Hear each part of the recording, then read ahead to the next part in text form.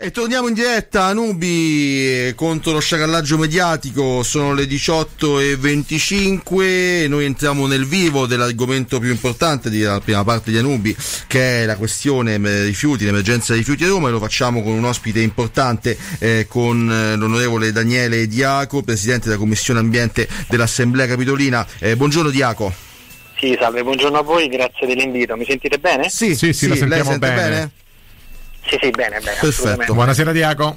Buonasera a voi. Grazie alla disponibilità, ripetiamo anche il piccolo ritardo, ma la diretta è bella anche per questo. E noi insomma oggi vogliamo un po' risolvere dal punto di vista dei, dei contenuti anche, anche, semplicemente linguistici una questione, la questione che eh, naturalmente eh, l'emergenza dei rifiuti di Roma è un'emergenza reale che tutti i nostri concittadini possono verificare tutti i giorni, è un problema atavico di questa città che viene da molto lontano. Eh, diciamo che potrebbe essere interessante ragionare sulle soluzioni a portata di mano. Recentemente c'è stata insomma una polemica, uno scambio di battute eh, fra eh, il sindaco Virginia Raggi e il presidente della regione Luigi Zingaretti su un rimpallo di responsabilità in merito alle competenze regionali e al contributo che la regione può offrire nel risolvere l'emergenza rifiuti. Insomma, cerchiamo ehm, col suo aiuto inizialmente di eh, portare qualche contenuto reale, realistico, qualche prospettiva realistica di intervento perché effettivamente al, dal punto di vista, ripetiamo, estetico dell'impatto quotidiano il problema sembra essere enorme e per i più, diciamo, per i meno ottimisti anche irrisolvibile vista la storicità di questa problematica per Roma. Sì, ehm, noi come abbiamo detto più volte, sia l'assessore che, che la sindaca Raggi, eh, veniamo da un sistema di rifiuti praticamente eh, compromesso, nel senso che negli anni addietro ogni eh, rifiuto veniva conferito nella discarica di Malagrotta, che è appunto la discarica più grande d'Europa. Insomma, ecco, questa discarica eh, fu chiusa eh, nel, eh, nel 2015, poi da allora eh, più nessuno insomma, ha ipotizzato comunque il, la post chiusura di Malagrotta, perciò eh, non è stata ipotizzata nessun tipo di impiantistica eh, o comunque nessun tipo di modalità che potesse poi eh, smaltire i rifiuti a Roma. Ecco, quello che ci troviamo oggi è una discarica che richiede giustamente una bonifica e anche di questo insomma, la Regione deve fare assolutamente la, la propria parte. Noi eh, oltre ad avere una discarica chiusa ci troviamo con un'impiantistica eh, datata, insomma, ecco, obsoleta se così possiamo dire, che sono appunto eh, i due impianti di trattamento meccanico-biologico, che sono quello a Salaria e quello a Rocca Cincia, eh, e più un impianto di eh, compostaggio aerobico a Maccarese che lavora dalle 20.000 ai 30.000 tonnellate di umido. Questo sicuramente non chiude il ciclo dei rifiuti a Roma, anzi diciamo che copre un, soltanto un 30% insomma, per quello che sono i rifiuti nella capitale e sicuramente eh, quello che noi abbiamo fatto sin dall'inizio è ragionare su un piano strategico, un piano industriale efficiente ed efficace che potesse in tempi rapidi arrivare intanto a una raccolta differenziata importante perché appena siamo, ci siamo insediati eh, il numero della, della percentuale di raccolta differenziata che girava intorno ai 30-35%. Oggi siamo al 40-44%, perciò sono stati fatti sicuramente dei passi in avanti e abbiamo eh, elaborato il 30 marzo son, è stato votato il piano strategico sui rifiuti da parte del nostro assessore Montanari che eh, insieme alla Commissione Ambiente, insieme alla Sindaca eh, appunto ha elaborato un piano eh, di rifiuti eh, efficiente. Ecco, questo, questo, piano di rifiuti eh, mira a chiudere il ciclo dei rifiuti a Roma, oggi noi li chiamiamo materiale post consumo perché riteniamo che già la, la parola rifiuto di per sé è un qualcosa diciamo, che eh, dire, viene, viene, preso e viene, e viene poi ehm, gettato. Noi invece riteniamo che il, materiale post consumo è una ricchezza ed una risorsa, cosa che tempi addietro chiaramente eh, non era ipotizzabile o comunque non è stato preso in considerazione questo tipo di approccio verso i materiali post consumo. Ecco, noi abbiamo eh, ragionato che Roma deve aumentare assolutamente il livello di raccolta differenziata e vogliamo arrivare al 70%. Vogliamo arrivare a una percentuale importante, vogliamo arrivare anche a una diminuzione dei rifiuti a Roma, perciò eh, abbiamo ipotizzato um, diciamo, di arrivare a un meno 200.000 tonnellate di rifiuti di materiale post consumo, mi scusi, ecco, per la capitale d'Italia, questo sicuramente è un dato importante, una bella, una bella sfida e anche una, una, grande meta. E vogliamo comunque eh, dare ai cittadini romani eh, una, un'impiantistica intanto sostenibile ad impatto eh, diciamo molto ridotto, perciò parliamo di impianti di compostaggio aerobico. E parliamo di isole ecologiche, eh, perciò di eh, materiali ingombranti, parliamo di domus ecologici che sono delle eh, micro isole ecologiche dove il cittadino può conferire e eh, può, eh, può essere data in dotazione anche una green card, cioè una carta per il cittadino virtuoso che conferisce bene e che eh, chiaramente ha un ritorno dal punto di vista economico perché è agevolato da una tariffa eh, puntuale. Oltre a questo abbiamo ipotizzato mh, dei centri eh, di riuso creativo, i, i centri CRIC sono stati definiti e eh, sicuramente questi centri di riuso creativo oltre a dar vita diciamo, al prodotto, perciò alle materie prime o comunque a quello che prima era un rifiuto, adesso materia post consumo verrà ricreato un'altra materia prima, perciò eh, possiamo creare degli abiti, possiamo creare nuovi mobili, insomma, possiamo creare anche un arredo urbano per la città stessa e creare anche un'economia circolare. E diciamo mh, sicuramente possono dare anche eh, posti eh, di lavoro. Eh, oltre a questo ehm, abbiamo eh, sicuramente messo in campo eh, l'idea di eh, creare questa impiantistica sostenibile, perciò eh, di fare un passo successivo e di arrivare poi a una chiusura, chiaramente eh, speriamo nel minor tempo possibile per quanto riguarda il, eh, l'impianto di trattamento meccanico-biologico di Salaria, quello di Rocca Cencia e allo stesso tempo arrivare a un 70% di raccolta differenziale. Diciamo questo entro fine eh. della, diciamo, della, consigli- della, della, sindacatura fino diciamo quindi eh, 17, 19, nel 2021 più o meno 2020-2021 giusto era quello l'obiettivo? È un, un, programma chiaramente a lungo termine, eh, un programma adesso uh, quadriennale perché chiaramente il primo anno certo. è passato, però, si, però diciamo a, bre- a, breve i cittadini quello che vedranno sicuramente intanto sono le isole ecologiche e le domus ecologiche e i centri di, eh, di riparazione di riciclo e di riuso. Ecco, questi eh, sono sicuramente ehm, i primi impianti che il cittadino ver- vedrà a breve. Intanto noi vorremmo inoltre creare degli uffici AMA all'interno dei municipi, perché noi riteniamo che il cittadino deve interloquire direttamente con una municipalizzata, quella che è AMA, insomma, diciamo, eh, deve, deve rapportarsi in modo immediato con l'operatore con ehm, il capo area, insomma, che sicuramente può dare una risposta efficiente, efficace e anche tempestiva al cittadino che ha sicuramente delle esigenze eh, forse quando eh, si, si, ritrova il secchione pieno, allora eh, va al municipio e può interfacciarsi direttamente con AMA, perciò deve passare i numeri verdi, insomma avere un contatto diretto con, con, la, con la municipalizzata AMA. Ecco, questo sicuramente è importante, non è mai stato fatto e noi riteniamo che in tutti i municipi di Roma ci debba essere un ufficio, uno sportello di AMA. Diaco, per, per, ottenere diciamo, queste nuove realtà da qui ai prossimi anni, le isole ecologiche, le domus ecologiche, gli impianti per il riciclo ed il riuso, eh, necessita l'amministrazione capoli, eh, capitolina anche di scegliere ah, proprio sul territorio alcuni punti strategici per, da destinare insomma, a, questi, a questi bisogni. E se sì, eh, diciamo, com, visto che in questi ultimi anni c'è sempre stato l'eterno eterno problema della, della sindrome NIMBY da parte no, di, dei vari quartieri, certo. cioè tutti quanti dicevano no, eh, fallo da un'altra parte, non lo fare da me e, e quindi non, non, si riusciva mai a sciogliere questo nodo. Mm, diciamo ci, ci, saranno invece questi, eh, in base a questi, in relazione a questi nuovi progetti di cui lei ci ha parlato poc'anzi, eh, delle, dei, dei, luoghi già destinati, insomma che già pensate di destinare per, per questi progetti?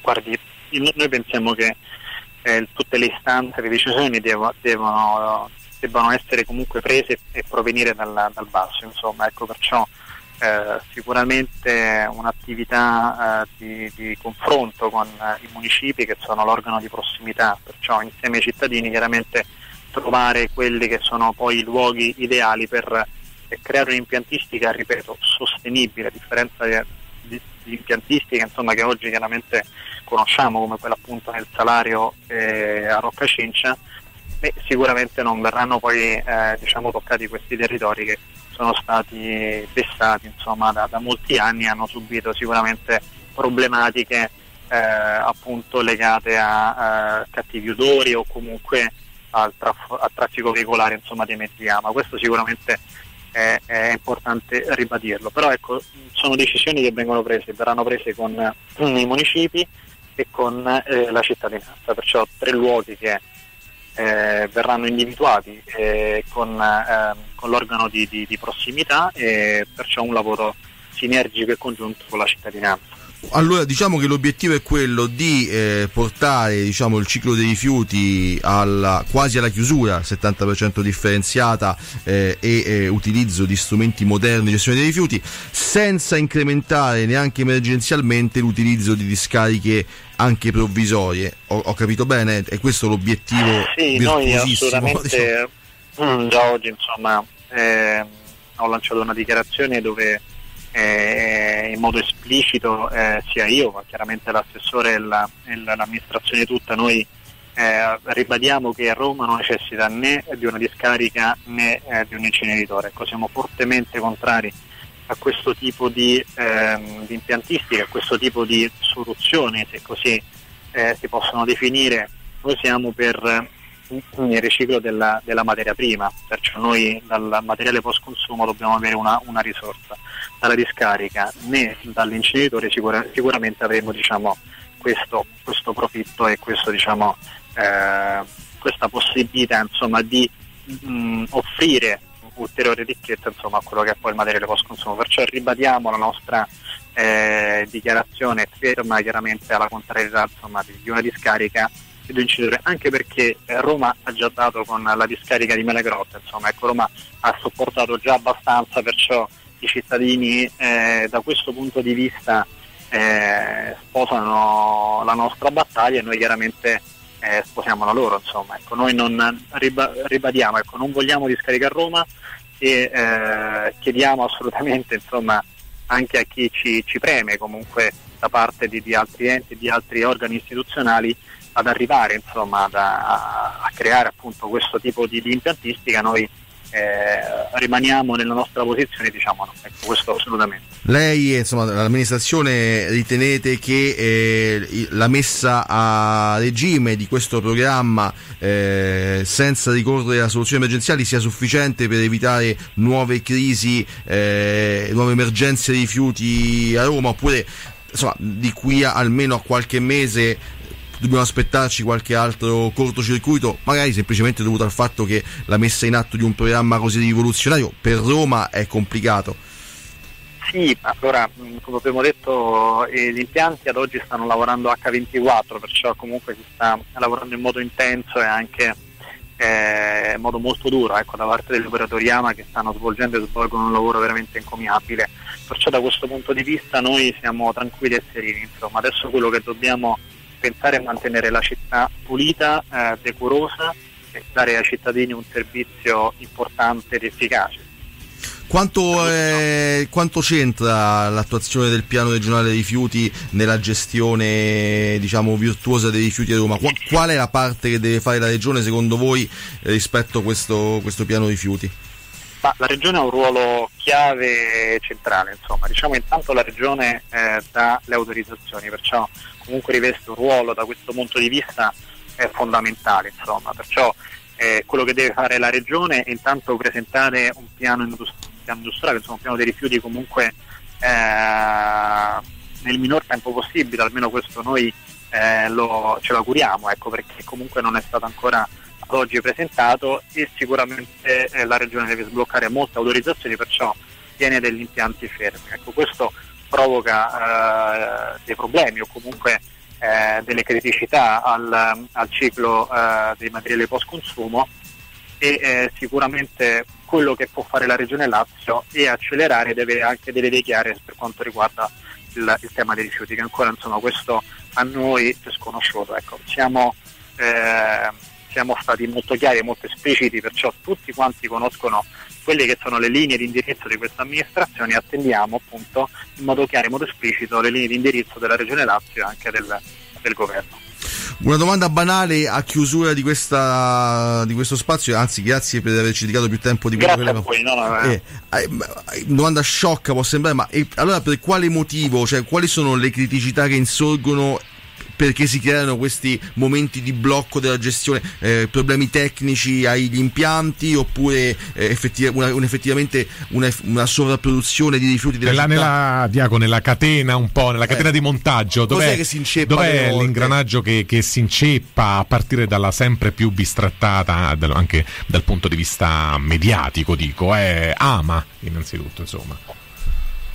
Sì, mm, guardi, allora diciamo sono problematiche eh, di carattere o stagionale, come appunto avete accennato voi, nel senso che comunque non, mh, mm, non vi è diciamo, una, um, dire, un conferimento lineare, solitamente anche nelle stagioni estive eh, diciamo, c'è una, una maggiore produzione di, di materiale post consumo o comunque possono esserci delle problematiche legate a degli impianti che sicuramente diciamo, sono degli impianti che ad oggi eh, hanno eh, la necessità di essere eh, supervisionati perché comunque è un'impiantistica insomma, che ha anche eh, un certo tempo, però ecco, noi eh, quello che abbiamo fatto finora con AMA è eh, garantire diciamo, mh, la funzionalità di questi impianti facendoli lavorare H24, facendo dei controlli anche serrati, perciò sulla propria operatività insomma, dell'impianto stesso che, eh, che, deve funzionare anche per garantire comunque il benessere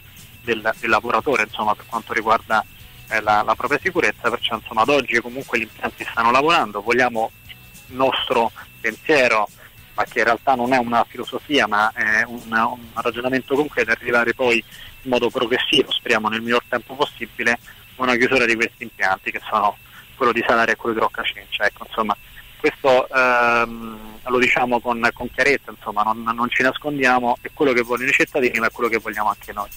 Perfetto, grazie, grazie ancora e buon lavoro. Grazie buon lavoro. mille. Grazie a voi, è stato, un, stato un piacere. A presto, buon lavoro. Anche per noi, buon lavoro. Buon lavoro. Grazie, ringraziamo, lavoro. ringraziamo, l'onorevole Daniele Diaco, presidente Commissione Ambiente dell'Assemblea Capitolina, è stato molto chiaro, tra l'altro ha preso anche impegni abbastanza precisi, che sono quelli della campagna elettorale. Precisi che, però... che insomma, quindi all'interno del mandato elettorale della, della sindaca Raggi, insomma, quindi ottenere dei, eh, dei risultati, come ha detto in, proprio nel finale dell'intervista, la chiusura di determinati impianti, la realizzazione delle isole ecologiche, delle domus ecologiche e arrivare alla quota 70, cioè il 70% appunto di eh, raccolta differenziata qui a Roma, rendendo Roma un comune virtuoso. Ha parlato bene, insomma, mi pare che, che ci sono eh, insomma sottolineato il fatto che a Roma, ma come era facile eh, pensare, ci sono proprio dei macro problemi strutturali proprio a monte, cioè eh, gli, proprio l'impiantistica è obsoleta, frutto di decisioni di 40 anni fa ormai, eh, eh, che però ci stiamo portando eh, appresso. Chiudere eh, determinate realtà eh, da parte ad esempio della giunta Marino fu una decisione che insomma dal punto di vista mediatico fu uh, no, di grande impatto, però poi, uh, come, uh, come, diceva, insomma, poi il post, il problema è sempre il dopo, no? Cioè come si, si gestiscono determinate realtà. Infatti tutte le criticità sono, ahimè, venute a galla. Alessio, vediamo un po' se da qui ai prossimi mesi, insomma, mm, cioè, qualche cosa di concreto, insomma, si, si avvera, no? Speriamo. Noi intanto ci facciamo una pausa musicale, andiamo avanti, come tu giustamente hai suggerito, ascoltandoci la voce di Chris Cornell. Eh, tra l'altro l'ennesimo grande musicista, performer che io non vedrò mai dal vivo. Sai quando uno dice porca miseria, potevo andarci a quel concerto? Eh beh, ci dovevi andare, mi dispiace. Tu mi ci potevi invitare anche pagandomi anche. il biglietto visto che ho una condizione economica un po' difficoltosa comunque ci ascoltiamo Audio Slave Like Stone e poi torniamo perché caro Valentino di altra opinione, naturalmente, è l'assessore all'ambiente della Regione Lazio rispetto a quanto ci ha detto. Che avremo dopo. Avremo subito dopo.